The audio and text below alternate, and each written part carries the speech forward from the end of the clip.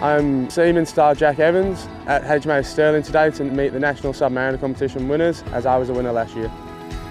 My name is James Walsh. I'm from Canberra ACT. I'm Chantelle O'Donohoe. I live in Redfern, New South Wales and I'm a proud Nookanoo woman. I entered this competition because I wanted to see the home of the submariners and I also wanted to see the complex systems that are on board the Collins class submarine. I didn't quite know what to expect, but it has been the most amazing time.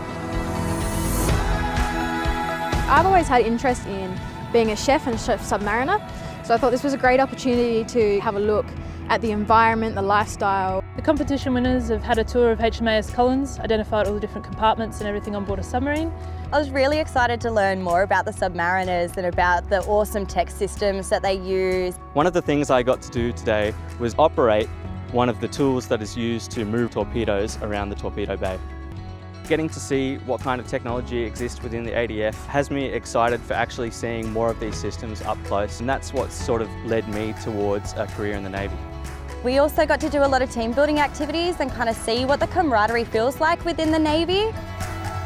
All members on board an Australian submarine are considered to be leaders and they need to take every opportunity to build on their leadership and management as well as their team building skills.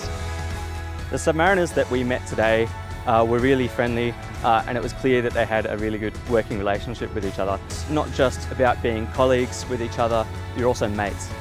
You meet a wide variety of people and you can keep them friendships for life. This experience has given me the insight and a different perspective on the industry and it's definitely pushed me towards wanting to pursue a career in the Navy.